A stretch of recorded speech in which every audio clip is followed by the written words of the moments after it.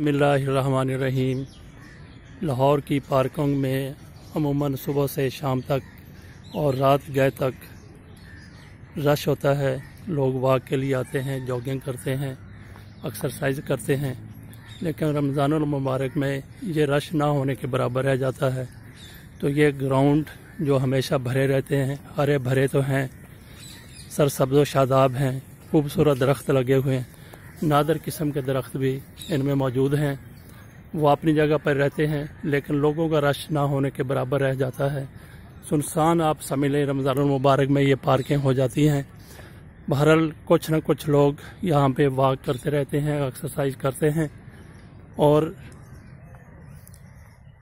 اپنے آپ کو فٹ رکھنے کی کوشش کرتے ہیں۔ رمضان المبارک میں وہی لوگ آتے ہیں، عموماً شوقیہ نہیں ہوتے جن کو کوئی نہ کوئی مجبوری ہوتی ہے۔ بہرحال شوق سے آنے والوں کے لیے بھی کوئی راستے بند نہیں ہیں۔